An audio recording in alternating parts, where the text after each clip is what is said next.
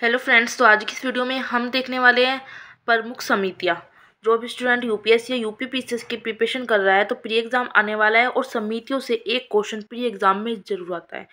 Pre exam में ही नहीं मतलब जो भी वनडे एग्ज़ाम होता है ना, उसमें समितियों से रिलेटेड एक क्वेश्चन तो ज़रूर ही आता है। तो समितियाँ तो आपको करके ही जानी है, और यूपी पी यूपी पी का जो एग्ज़ाम है ना, उसमें तो ज़रूर आता है, पिछले साल भी आया था।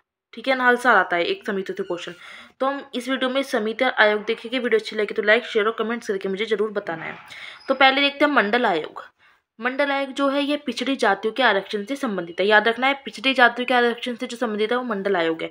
इसमें सत्ताईस प्रतिशत आरक्षण को कहा है और आगे ज़ीरो पॉइंट फाइव आरक्षण और जोड़ दिया था। तो सत्ताईस पॉइंट पाँच प्रतिशत आरक्षण इसमें हो गया है।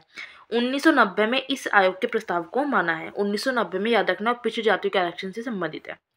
किस आयोग का गठन मुंबई दंगे की जाँच के लिए किया गया था? पूछा जा सकता है जो मुंबई में बॉम्ब ब्लास्ट हुआ था, ठीक है? तो मुंबई में बॉम्ब ब्लास्ट 12 मार्च उन्नीस सौ तिरानवे को हुआ था। याद रखना है, नौ सौ से अधिक मौत हुई थी। इसमें जो है, अभिनेता संजय दत्त, उनको अरेस्ट किया गया था। उनका नाम आया था इस दंगे में कि उन्होंने करवाया है बॉम्ब ब्लास्ट। और इसकी जाँच के लिए कौन सी जो है, गठन हुआ था, किस समिति का? तो श्री कृष्ण आयोग का, ठीक है? याद रखना है आपको। नेक्स्ट आ जाता है बलवंत राय मेहता समिति का संबंध, किस क्षेत्र से काफ़ी ज़्यादा इंपॉर्टेंट है। पीसीएस के प्री एग्ज़ाम में पूछी गई है ये। तो बलवंत राय मेहता समिति जो है, ये पंचायती राज व्यवस्था से संबंधित पहली समिति थी। ठीक है? और उन्नीस सौ छप्पन में यह हुई थी और इसकी जो रिपोर्ट है, वो उन्नीस सौ सत्तावन में। उन्नीस सौ छप्पन में तो गठन हुआ था, याद रखना है, और रिपोर्ट दी थी इसने उन्नीस सौ सत्तावन में। और ये कुछ समितियाँ लिखी है जो पीसीएस के प्री एग्ज़ाम में पिछली बार आई थी। तो बलवंत राय मेहता समिति मैंने बताया, उन्नीस सौ छप्पन में गठन हुआ है। उसके बाद आप याद रख लेना अशोक मेहता समिति, उसके बाद यह उन्नीस सौ सतहत्तर, ठीक है? फिर राव समिति जो है उन्नीस में, एल एम सिंघवी समिति उन्नीस सौ छियासी में, पी के तुंगुन समिति जो है उन्नीस सौ अट्ठासी में। तो ये आपको रट लेनी है मतलब सन तो रट लेने समिति की, समिति से रिलेटेड क्वेश्चन ज़रूर ही आता है।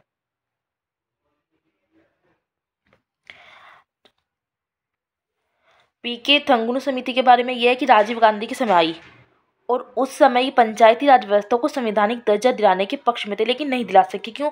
क्योंकि राज्यसभा में बहुमत नहीं था। राज्यसभा में बहुमत ना होने के कारण इसे संवैधानिक दर्जा नहीं मिला। और उन्नीस सौ तिरानवे में क्या हुआ? जब तिहत्तरवा चौहत्तरवा संविधान संशोधन होता है, तब पंचायतों को संवैधानिक दर्जा मिलता है। आगे देखें तो राजीव गांधी हत्याकांड की जाँच करने हेतु कौन से आयोग का गठन हुआ? तो राजीव गांधी हत्याकांड की जाँच करने हेतु जो आयोग का गठन हुआ, वो जैन आयोग थे और ये नौवे प्रधानमंत्री थे भारत के, उन्नीस सौ चौरासी में बने थे। और इक्कीस मई उन्नीस सौ इक्यानवे में जो तमिलनाडु के पेराबंदुर में, याद रखना है आपको, इक्कीस मई उन्नीस में तमिलनाडु के पेराबंदुर में राजीव गांधी की चुनावी सभा चल रही थी और एक महिला जो है वो राजीव गांधी की पैर छूने के लिए जैसे ही आगे बढ़ी तो उसके शरीर में लगा आरडीएक्स फट गया, ठीक है? यह आत्मघाती हमला जो है लिबरेशन टाइगर्स ऑफ़ तमिल इलम ने किया था। और उनकी तरफ़ से ही महिला थी, उसे कहा जाता है LTTE, L double T E, LTTE की फुल फॉर्म क्या है? लिबरेशन टाइगर्स ऑफ़ तमिल इलम तमिल विद्रोही संगठन है लिट्टे एक, ठीक है? तो पूछा भी जा सकता है लिट्टे क्या है? तो तमिल विद्रोही संगठन है। और जैन आयोग से यह गठन किया गया था। नेक्स्ट आ जाता है दांतेवाली समिति का गठन किस क्षेत्र के हुआ? तो बेरोजगारी का अनुमान लगाने के लिए। ठीक है, अदृश्य प्रच्छन्न बेरोजगारी ग्रामीण क्षेत्रों में पाई जाती है और जो शहरी क्षेत्रों में औद्योगिक पाई जाती है। वर्तमान समय में हम देखें तो गरीबी और बेरोजगारी का जो गणना है वो एनएसओ करता है। तेईस मई 2019 से। एनएसओ से पहले जो संस्था थी वो एन डबल एस ओ था अभी एन एस हो गया है। ये संस्था अब नहीं है। इसकी जगह अब एन एस ओ आ गया है। सिर्फ़ एक एस हट गया है। ठीक है? तेंदुलकर समिति का संबंध किससे या तो गरीबी निधान से संबंधित है। ये गठन होता है दो हज़ार पाँच में, रिपोर्ट दो हज़ार नौ में। और गरीबी और शहरी क्षेत्रों के लिए, दोनों के लिए अलग अलग पैमाना निर्धारित है इसमें। ग्रामीण क्षेत्र में सत्ताईस प्रति दिन से कम और शहरी क्षेत्रों में तेईस प्रति दिन से कम खर्च करने वाला ही कहा गया इसमें गरीब होगा। गरीबी मापन से संबंधित जो पहली समिति थी वो अलग समिति है, अलग समिति। 1977 में बनी 1977 में याद रखना अशोक समिति भी आई थी। अशोक मेहता समिति भी 1977 में आई थी, रिपोर्ट 1979 में आई और इस समिति ने गरीबी का जो आधार है वो पोषण रखा था। नेताजी सुभाष चंद्र बोस के गुमशुदगी के विषय में जानकारी प्राप्त करने हेतु तो कौन से आयोग का गठन हो तो याद रखना है, मुखर्जी आयोग, गठन उन्नीस सौ निन्यानवे में हुआ, रिपोर्ट 2006 में।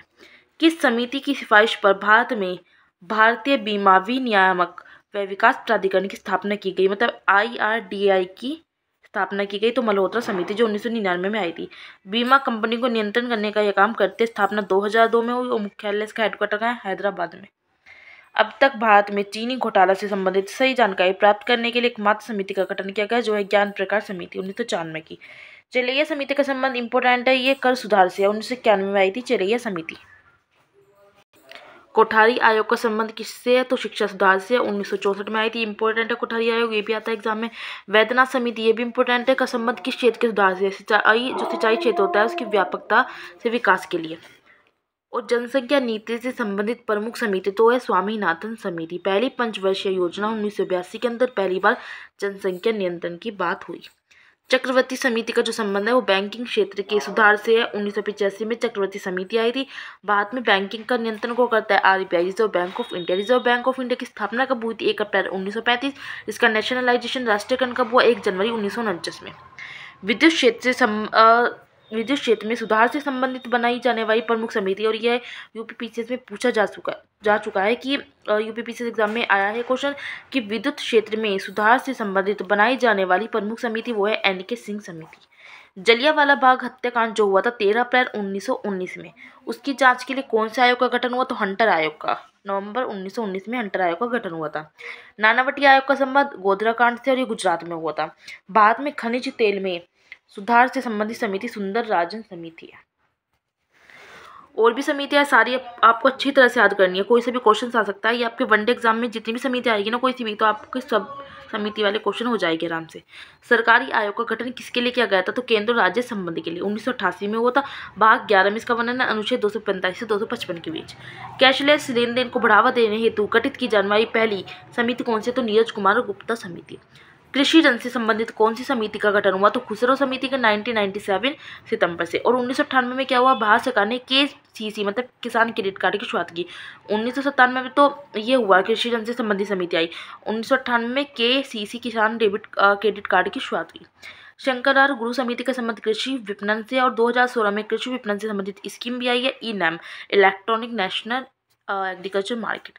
सात अगस्त 2020 में बात करें तो किसान खेल की शुरुआत हुई है नासिक से बिहार के दानापुर तक। केलका समिति का संबंध इंपॉर्टेंट है जीएसटी से है गुड सर्विस टैक्स 2003 में और प्रत्यक्ष और अप्रत्यक्ष कर से संबंधित।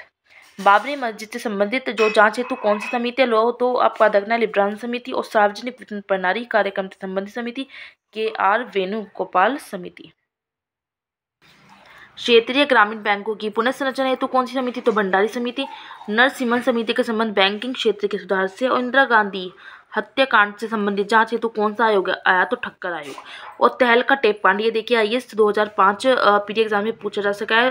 जो तहल का टेप कांड की जाँच हेतु कौन सा आयोग आया? फुकन आयोग, याद रखना है। काला धन की समाप्ति है तो कौन सी समिति का गठन हुआ? चलिए समिति टू का। गोई पोरे समिति का जो संबंध है बैंकिंग सुधार से और भारतीय रिज़र्व बैंक मतलब आरबीआई की स्थापना, किस समिति की सिफारिश पूरी? मैंने बताया आरबीआई की जो स्थापना हुई एक अप्रैल उन्नीस सौ पैंतीस में हुई थी तो किस समिति की सिफारिश पड़ी हुई? तो हिल्टन यंग समिति, जिसका गठन उन्नीस सौ छब्बीस में हुआ। भुगतान संतुलन से संबंधित सुधार हेतु कौन सी समिति, रंगराजन समिति, आयात निर्यात सम्मान होता है? मतलब भुगतान संतुलन से मतलब। छोटे उद्योगों को सुझाव देने हेतु कौन सी समिति, आबिद हुसैन समिति और किस समिति का संबंध? प्रतिभूति घोटाल से संबंधित है तो जानकी रमन समिति का। तो सारी समितियाँ कंप्लीट हो जाती है तो वनडे एग्ज़ाम में कोई भी क्वेश्चन आता है, यूपीएससी यूपीपीसीएस में तो आप आराम से कर दोगे। अब आपको वीडियो को पोज करके अपने नोट्स बनाना चाहे, बना सकते हो, ठीक है? लेकिन आपको अच्छी तरह से समितियाँ कर लेनी है क्योंकि क्वेश्चन ज़रूर आता है। इस बार भी आप देखोगे क्वेश्चन तो ज़रूर ही मिलेगा आपको पीसीएस के एग्ज़ाम में, समितियों से रिलेटेड